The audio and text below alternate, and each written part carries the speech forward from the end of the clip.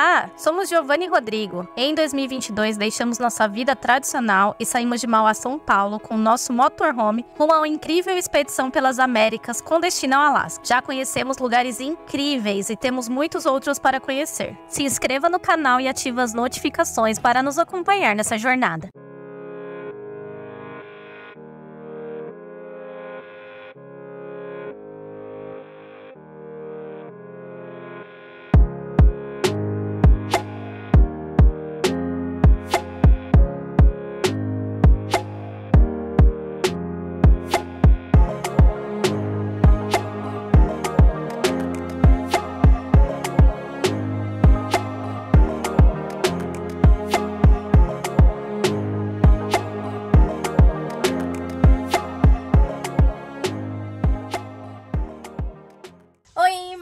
Aqui em Cholula e hoje estamos terminando de almoçar aqui nosso prato preferido, que é carne moída.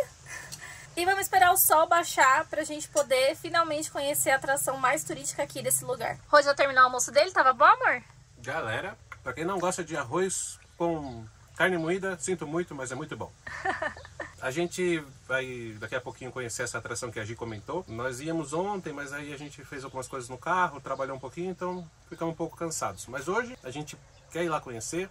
É um lugar muito legal e vamos levar vocês para conhecer junto com a gente. E a gente só tá esperando o sol baixar, porque lá fora tá 35 graus. São duas e meia da tarde. Olha isso. O sol tá bem forte. A gente tá esperando um pouco, porque até lá a gente vai a pé. Como é perto daqui, mais ou menos um quilômetro de onde a gente tá. E é tudo plano, então a gente vai a pé, não vai gastar com Uber, né? Bora caminhar, galera. Um quilômetro daqui é o nosso destino, um dos principais pontos turísticos aqui de Cholula. Gente, tem uma história impressionante esse lugar, hein? Vamos compartilhar com vocês quando chegarmos lá. Chegamos, pessoal, aqui na Grande Pirâmide de Cholula. E agora a gente vai ver quanto paga para entrar. Chegamos aqui na bilheteria. Olha, eu vou falar que o Rodrigo me enganou, porque achei que era 15 minutos. Demorou uns 20, 25 pra gente chegar. Então, é um pouquinho mais longe do que o caminho que ele tinha colocado. Quanto que tá? 95 por pessoa 95. e 50 para gravar dentro. Bom, então aqui 95 pesos mexicanos por pessoa e a gente tá pagando aquele valor ali de 50 pesos mexicanos para poder entrar com o celular e gravar. Ele falou que fotos não precisa pagar, mas como a gente faz gravação para vídeo, a gente fica bastante tempo gravando, a gente resolveu pagar.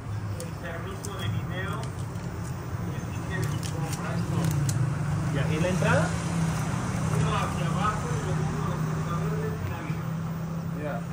Gracias. E aqui não aceita cartão, gente, só dinheiro. Então aqui eu tô entrando com esse permisso de vídeo também. Se alguém pedir, a gente tem, né? Já que a gente vai gravar, é melhor já pagar, não ter dor de cabeça, né, amor? E pode ficar até as 5 e meia lá dentro.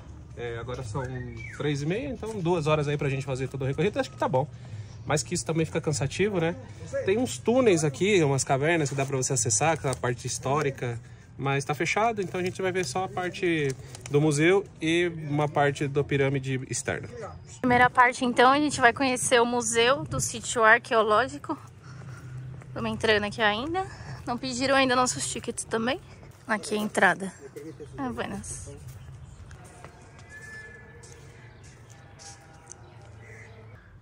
Olha, gente, já entrando aqui no museu, a gente já tem uma maquete, ó, de como que é essa pirâmide.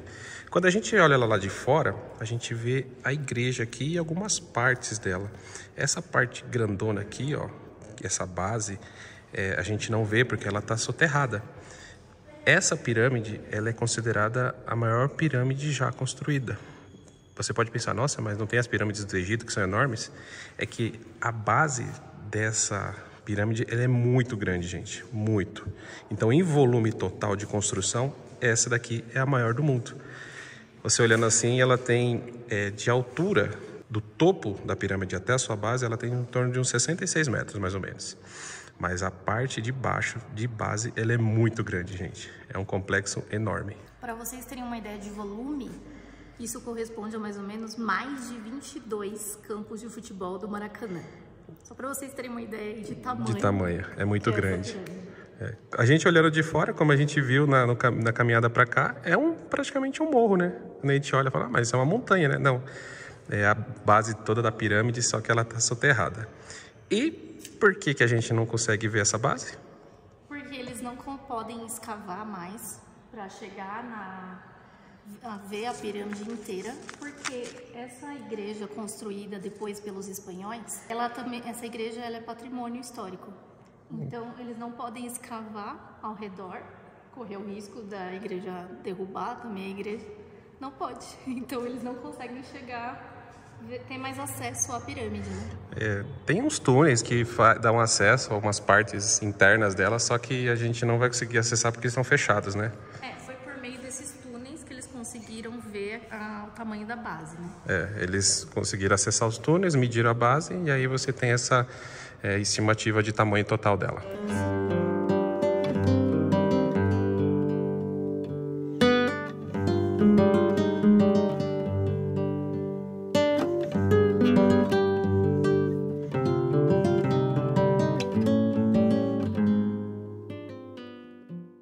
Já visitamos o museu aqui, bastante interessante, um pouco da história da pirâmide, alguns artefatos dos povos que viveram aqui em Cholula. Cholula é uma das cidades mais antigas aí da América. Ela tem início aí antes da época de Cristo, né? Então, começou aí há muito tempo atrás e ela continuou tendo habitantes desde então. Então, ela sempre foi povoada. Agora a gente vai lá conhecer verdadeiramente a pirâmide, que a gente está ansioso para conhecê-la. Vamos lá, amor? Bora lá. Aqui então, ó, a gente tá, tá chegando perto, aqui é a igreja. A igreja Nossa Senhora dos Remédios. E aqui embaixo toda é a base da pirâmide, só que aqui não tá escavado. Então a gente não tem acesso. Na verdade, nós estamos passando por cima dela, provavelmente, né? Sim. Porque essa base ela é muito grandona e, e ela deve vir até nossa baixo, assim. Isso aqui vai muito fundo, né? Se ela tem uma altura total de quase 60 metros, para baixo ela tem muita área construída, né? Mas soterrada, né? Então a gente não tem acesso. Teria uma visão talvez se pudesse acessar os túneis. É uma pena que a gente não vai conseguir, né? Mas de qualquer forma vale o registro de ter conhecido esse lugar único no mundo, né? E aqui já entramos no sítio arqueológico de Cholula. Já conseguimos ver nossas as primeiras construções aqui, as partes da construção da pirâmide da antiga cidade de Cholula e dá para ter uma ideia da dimensão, do tamanho. Ali a gente consegue ver a igreja. Então tudo isso faz parte da pirâmide. Vamos conhecer um pouquinho mais? É grande esse negócio, viu? É enorme. A construção, essa parte aqui ela ainda está preservada, né? Porque as escavações até o momento que encontraram essa parte era permitida, não era patrimônio a igreja. Só que agora não podem mexer mais, né?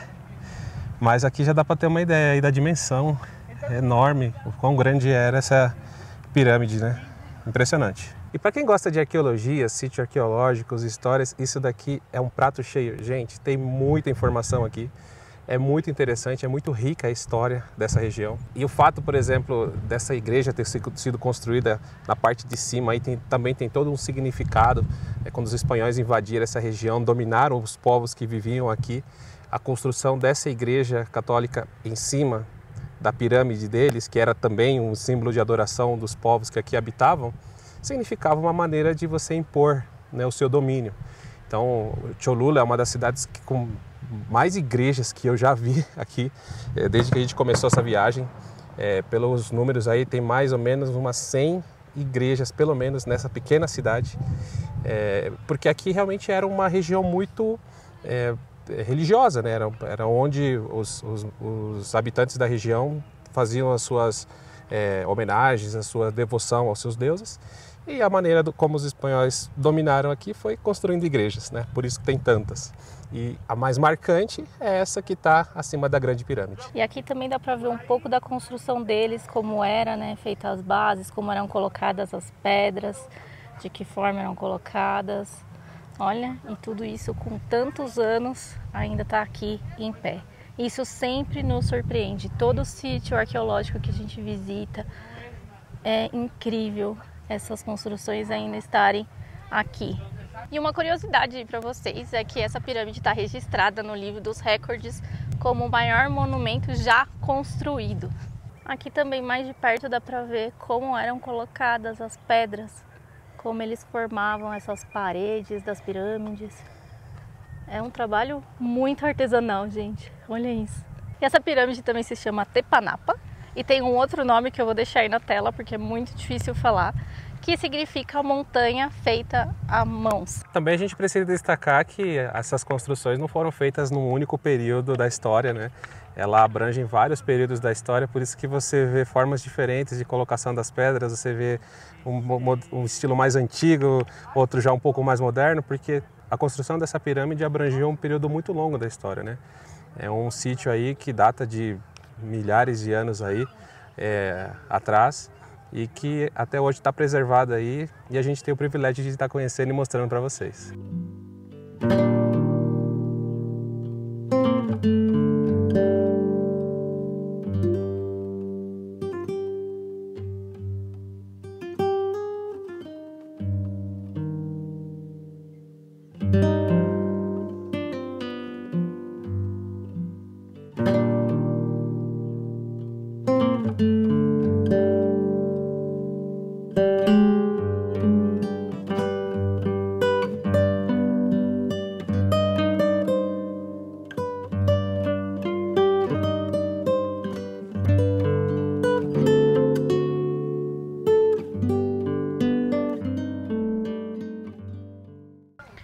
deixa aí nos comentários se vocês gostam desse tipo de história.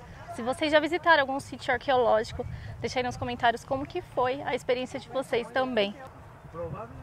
Gente, olha que fundo ali, ó. Que a gente tá vendo. Isso é o que eles conseguiram chegar, até onde eles conseguiram escavar, né? Tem mais lá para baixo, tem mais construções lá para baixo.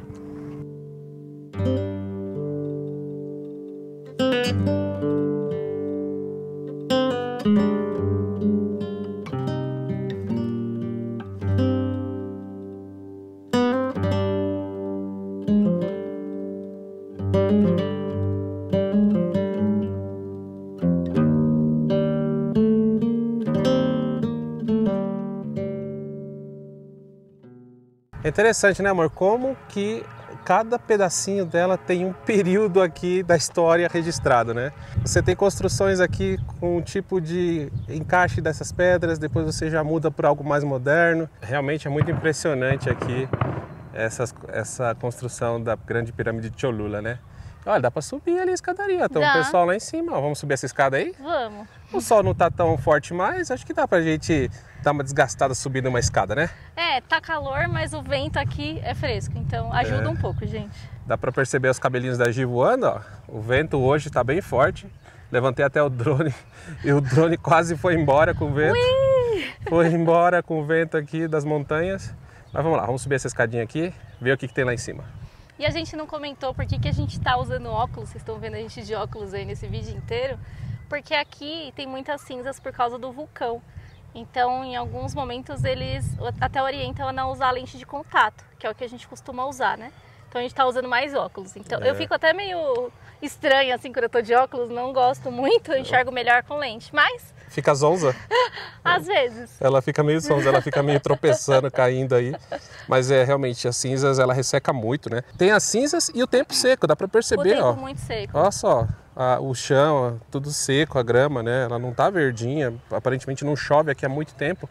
Então o tempo já tá seco, já tem, a, já tem as cinzas do vulcão e, é, e, acaba realmente a lente de contato ressecando muito e deixando até com alergia, né? É, mas chega de papo, vamos lá subir em cima da pirâmide. Bora. É, olhando agora assim, eu acho meio íngreme, né? Olha só, gente. É muito íngreme. vamos subir, ver o que, é, dá pra ver lá de cima? Ai, ó, ele fala que o risco é todo seu, tá? E para descer também, porque ó, o degrauzinho é pequeno, ó. Ó meu pé. Ó, meu pé ocupa praticamente todo o degrau, então são degraus muito pequenininhos e é bem inclinadinho, hein? Devagarzinho, hein, amor, para não cair. É, mas a gente viaja com seguro viagem, então se acontecer alguma coisa. É, temos um seguro aciona. viagem aí que resolve todos os nossos problemas. Depois a gente deixa no link da descrição os dados aí do nosso cupom de desconto, caso você queira adquirir o seguro de viagens da Real Seguro Viagens. Não viagem sem seguro viagem, viu, gente? Dá uma tranquilidade imensa, vocês não têm ideia. É verdade.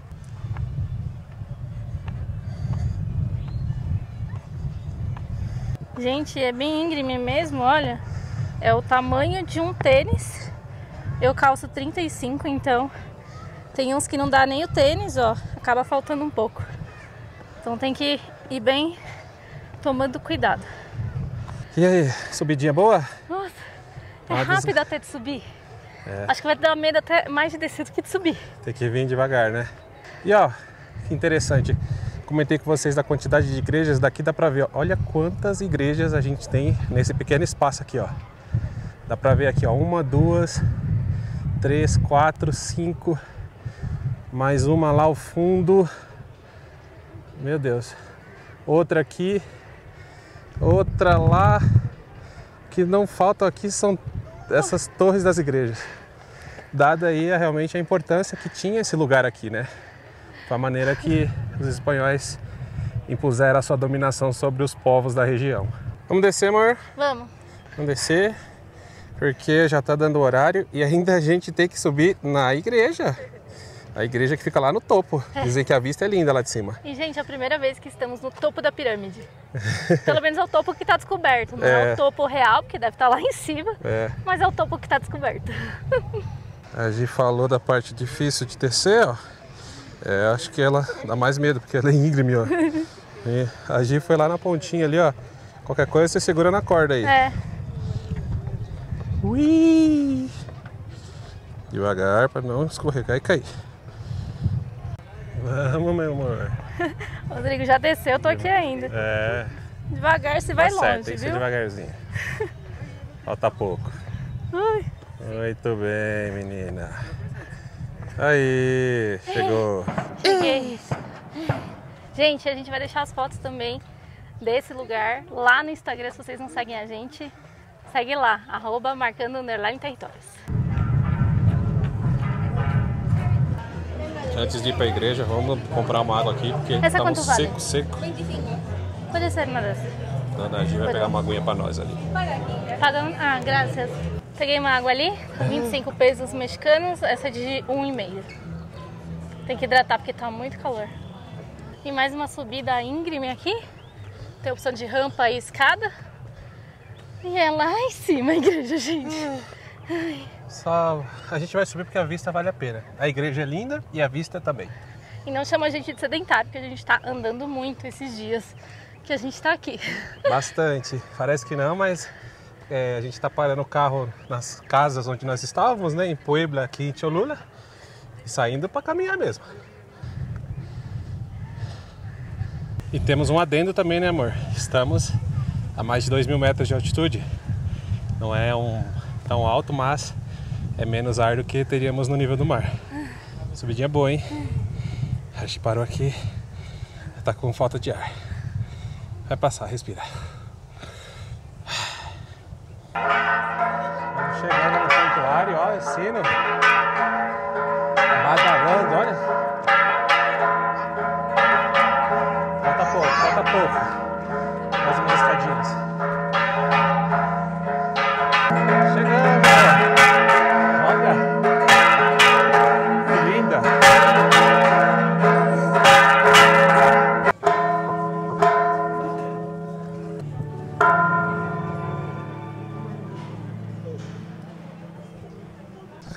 Vista linda daqui.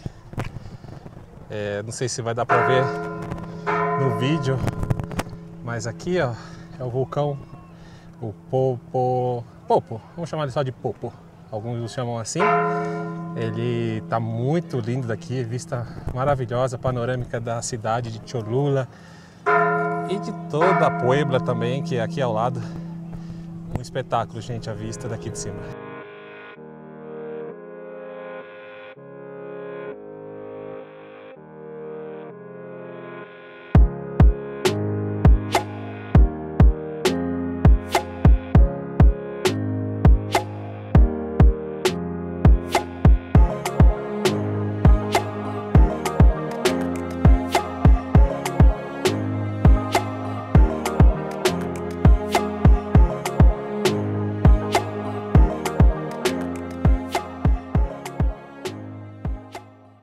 Outra característica interessante aqui, né, amor? Tem muitos fogos, né? Tem.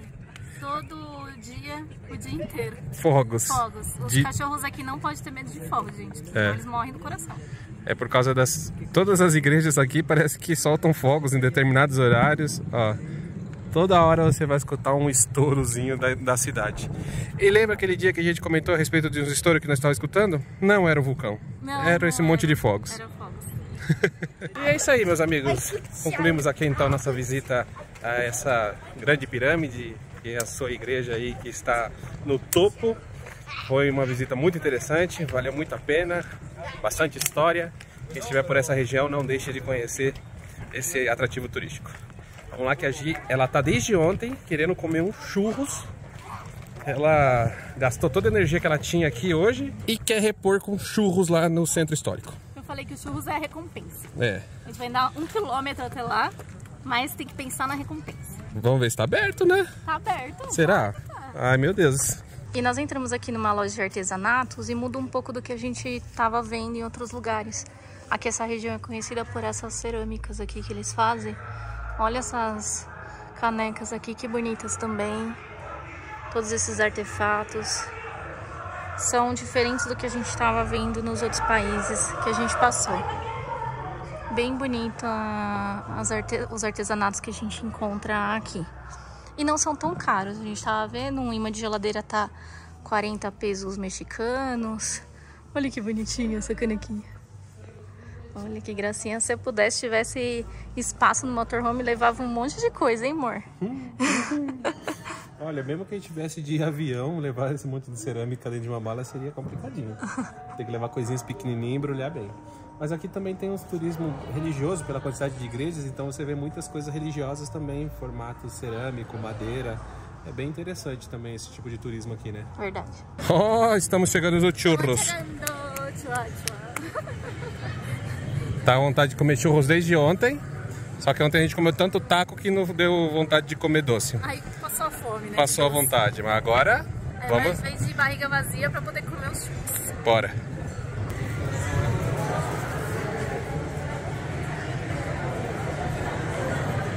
Vamos sentar. E a gente pediu primeiro um prato salgado, a gente pediu um desse para dividir, que chama pita. E pedimos de frango. Vamos ver se vai vir igual o daqui, né? É, são dois, duas pitas. Ele falou que é tipo um. Assim, ah, um taco, vai, mas maiorzão assim. Então é uma massa grandona que aí acompanha queijo, galda, é, queijo creme. Não é requeijão, queijo crema deles, né? Abacate, que é guacamole é, alface, cebola, aí essas coisas já não manjo. E, e pepino. Tomate e pepino. E vem com batata frita. É. Vamos ver. Tô com fome, tá dando fome agora. Tá, agora deu. e chegou nossa comida, gente. Olha aqui, ó. As pitas? É grande até, ó. Veio é. dois. Ele colocou em prato separado é, pra nós. É, normalmente um prato vem dois, mas a gente separou pra gente não ter que ficar é, comendo no mesmo prato. Mas bem bonito, bem apresentado, gostei. E ele trouxe uns molhos aqui também. Esse aqui é de, de pimenta. Esse acho que é uma, um molho vermelho. Ele falou que é para batata, isso aqui. É. Para papa. Deve ser tipo um ketchup. Deixa eu ver. De tomate, mas não pica. Tá. Ele falou que essa pica mais. Essa pica. É mais picante. Essa é mais doce. É. E esse é tipo uma maionese. Maionese.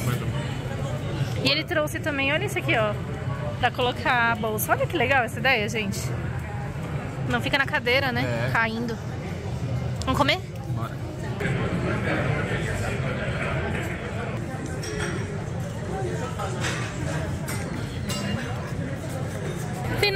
Finalmente chegaram os churros! Olha isso!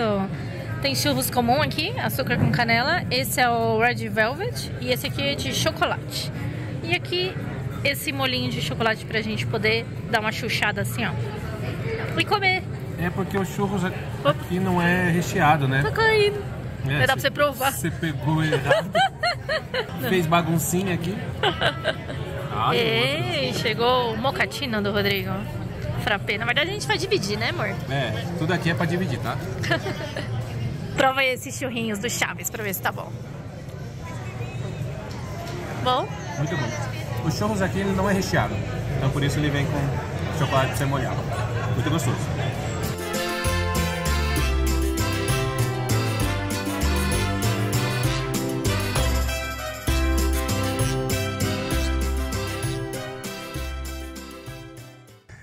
Nossos amigos gatunos estão aqui esperando a gente.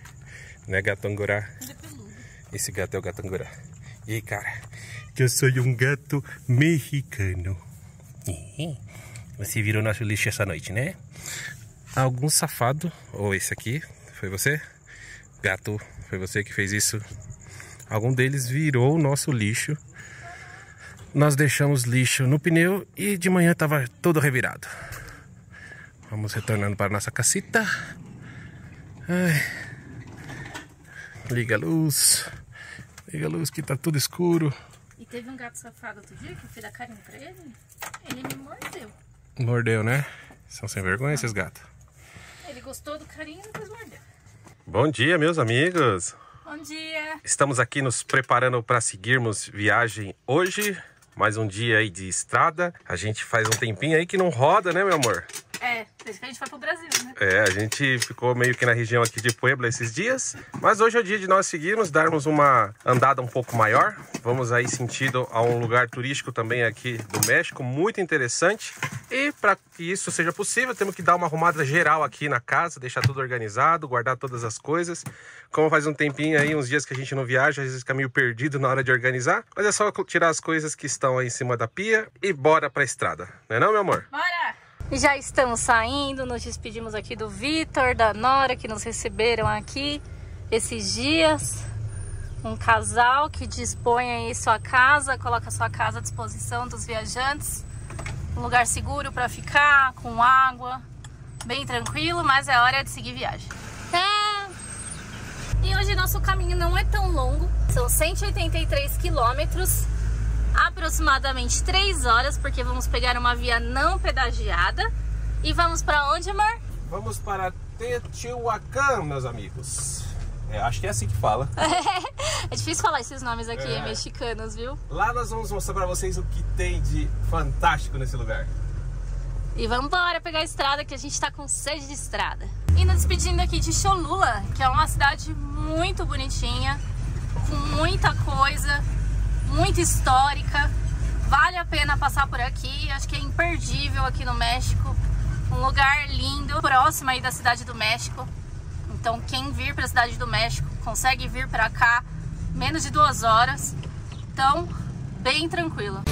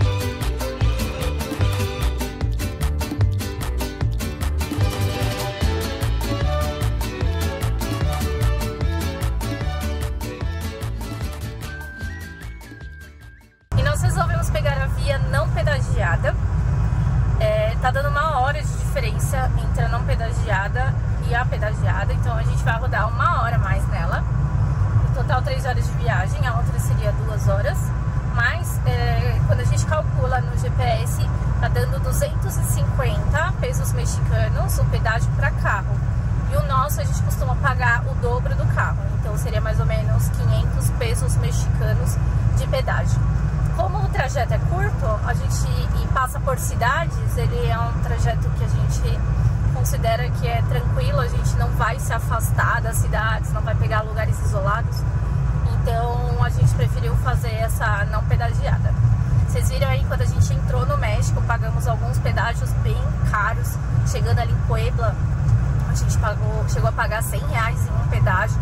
Então aqui o México tem alguns pedágios são muito caros. O que a gente conseguir desviar, a gente vai tentar desviar sim.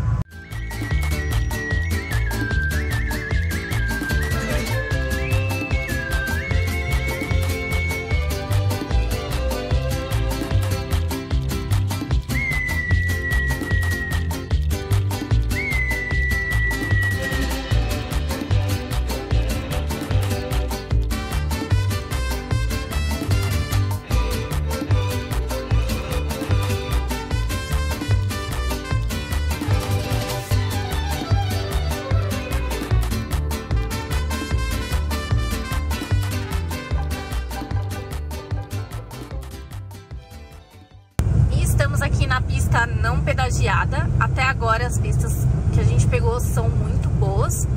O asfalto tá muito bom, parece bem novinho.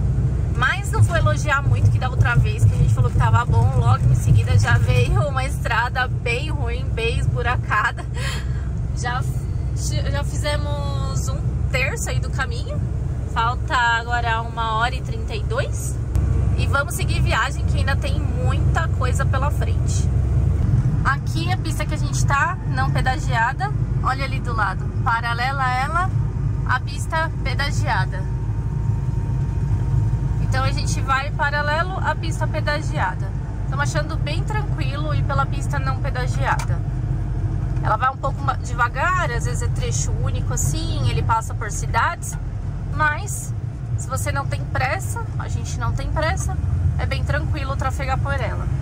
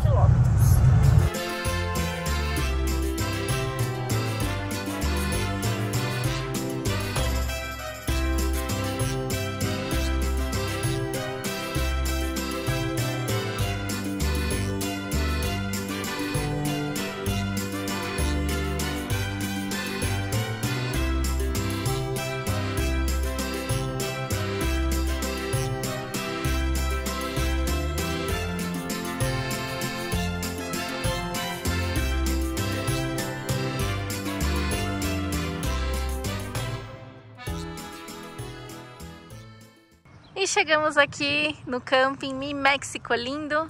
O Rô foi lá ver quanto que eles estão cobrando. Fica bem próximo aqui das pirâmides em Teotihuacan. Fica aqui do ladinho e a gente vai conhecer esse espetáculo aí. Provavelmente não hoje, mas amanhã. E tô morrendo de fome. Vou fazer nossa comida aqui que já são quase 3 horas da tarde. A gente saiu tarde lá de Cholula. Tomamos café, saímos. Acordei um pouco mais tarde hoje, mas agora eu vou arrumar aqui as coisas para fazer nosso almoço. E aí? Custa 250 uma noite, mas se for ficar mais de uma noite, duas pelo menos, 150 a noite. E... Mas... É isso. É. Tem água? Tem água, tem um banheiro ali, tem ducha se quiser tomar banho lá. É, energia elétrica não cheguei a perguntar, mas o sol tá tão forte que nem precisa. Não né? precisa. É um lugar bem gostoso. Ele ofereceu passeio de, de balão. e aqui nessa região tem uns passeios de balão bem legais. 2.300 pesos por pessoa. Um, um passeio de meia hora a uma hora. E eu vou fazer um arroz aqui. Temperar um feijão preto que eu cozinhei ontem. Deixei cozido ontem à noite. Sabia que a gente ia pegar a estrada, então já deixei pronto, né, gente? Agora é só fazer isso e comer, que a gente já tem uma carne preparada. Aí tá pronto o almoço. Com relação ao caminho pra cá, foi bem tranquilo. Apesar da via ser não pedagiada, tava muito boa. E valeu a pena não pagar pedágio nesse trecho. A gente chegou bem, foi bem rápido. E a condição da pista valeu a pena a gente pegar essa via não pedagiada e economizar um pouco. Comida pronta, meus amigos. O Rô colocou a mesinha pra gente comer aqui fora. Aproveitar que estamos no espaço de um camping. Temos arroz, feijão, carne moída, uma saladinha de tomate, farofa do Brasil. Olha que delícia. E vamos comer, que estamos com fome. O Rô tá até com a cara fechada, ó, que ele tá morrendo de fome, gente. É quatro horas já. ai, ai.